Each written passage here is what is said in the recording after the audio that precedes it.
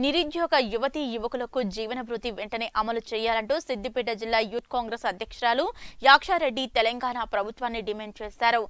జయదేపూర్ మండల కేంద్రంలోని గాంధీ చౌరస్తాలో రోడ్డుపై బైఠాయించి ధర్నా రాస్తారోకో నిర్వహించారు.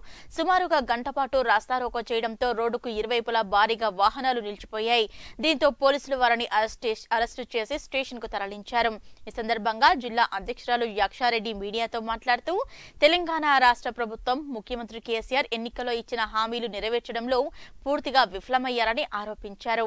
ఈ ధర్నా కార్యక్రమంలో యూత్ కాంగ్రెస్ నాయకులు కార్యకర్తలు పాల్గొన్నారు. ఎమ్మెల్యే కేసీఆర్ గారిని ఒకటే అడుగుతున్నాం. పదేళ్ళ క్రితం అన్నో కేసీఆర్ ఉద్యోగాలు ఇప్పిస్తా ప్రతి ఇంటికి అని ఇప్పటివరకు రాలేదు. సరే అది వదిలేసే మొన్న ఆరు నెలల క్రితం అన్నావు అవో నోటిఫికేషన్ ఇగో నోటిఫికేషన్ అది రాలేదు. యాభై వేల నోటిఫికేషన్ రిలీజ్ చేస్తా అన్నావు పొద్దున్నే రిలీజ్ చేస్తా అని పోయి రాత్రి ఫామ్ హౌస్లో అన్నావు ఏడా? ఎన్ని రోజులని కష్టపడాలి మా అన్నలక్కలు ఐదారు ఏళ్ళ ఐదారు ఏళ్ళ నుంచి రేపు వస్తుంది మాకు వస్తుంది నోటిఫికేషన్ అని చదువుతూనే ఉన్నారు వాళ్ళు. కానీ ఉద్యోగాలు ఇప్పటివరకు ఒక్క నోటిఫికేషన్ రిలీజ్ చేయలేదు. పోలీస్ నోటిఫికేషన్ తప్ప ఇప్పటివరకు ఒక్క నోటిఫికేషన్ రిలీజ్ చేయలేదు. అయ్యా కేసీఆర్ గారు ఒక్కటే కోరుతున్నాం మిమ్మల్ని. మీకు కావాలంటే మీకు పైసలు పైసలు ఇస్తేనే కదా పని అయ్యేది.